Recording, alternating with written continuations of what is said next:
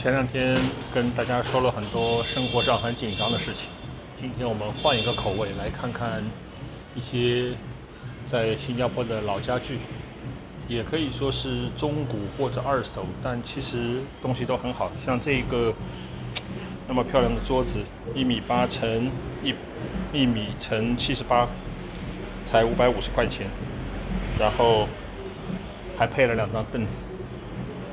然后这些茶几你看才八十块钱，就是才八十块钱，这么一组茶几也是加沙发也是非常漂亮。然后刚才只是看了冰山一角，这上面有沙发，有壁画，这实际上都是。蛮好的一些东西，而且看起来都非常干净。像这一个架子才五百块钱，看着都是非常新、非常干净。然后因为各种各样的原因，可能从上一个主人那边就被淘汰了。像这些中式的椅子才两百五十块钱一件，还有这个画，都是让人啧啧称赞。还有这一幅画也是很抽象。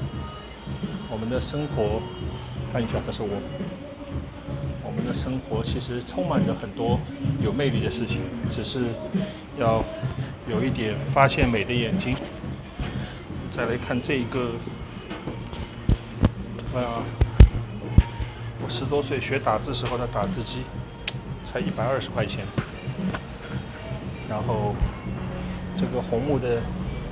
我不懂，他是加了四把椅子才一千零八十块，哇，真的都是很不错。Sorry 啊，刚刚看到一个他们的同事在吃饭，哇，真的都是很多好东西。我也是因为最近想添一张大桌子，然后想添一张大桌子，因为我们频道的老朋友知道我们的茶叶都在路上，都还在海上，但是。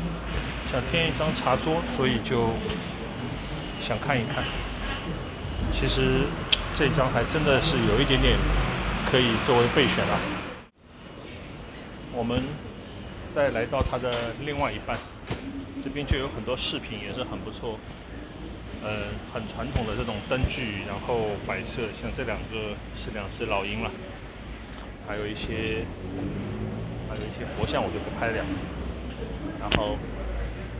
这些都是一些很有特色的玩意，也是很多都很有特色，真的都很漂亮，千奇百怪，林林总总，还有这匹马，又有童趣又有时代的味道。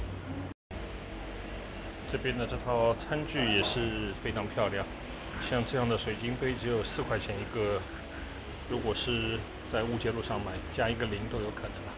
还有这个蜡烛台也是那么漂亮。还有后面有很多中式的、西式的画，这个是松鹤延年，也是很美。还有很多的一些器物都蛮有特色的，真的是可以花一点时间看看。哇，这边还有又是一块地毯啊，这些都是很有特色。我再转多一会儿跟各位分享。刚才如果看到的都是一些器器物和玩意儿，那还有很多很传统中式的这种箩筐，很久都没看见了。然后还有各种各样的餐具，有那么多各种各样的餐具，很多都其实看起来还是可以有一些它发挥余热的地方。改天真的是可以过来买一点，但是我们今天其实想挑的就是一张桌子。当然，这个茶壶看起来也是很美的。今天这个淘二手店的过程，其实还需要有一点时间，但我就不拍给大家了。但是我看着这个实事求是的几个字，就想跟各位分享：不管是什么时候，每一样东西都要充分利用，然后尽可能发挥它更大的价值。那我们生活中就会有这样子起起伏伏，但是找到了。继续把它用好，那就是很有味道。这边还有这么大一套书，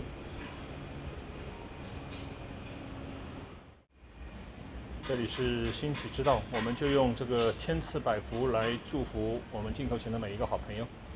谢谢，再见。所以，所以就带着我们买的东西离开这家店。最后，他们还告诉我，这家店其实在小红书上也是有推广，但不做广告了，就不讲它具体名字和在哪里。给各位看一下我们买东西，给各位看一下我们买了三件宝物。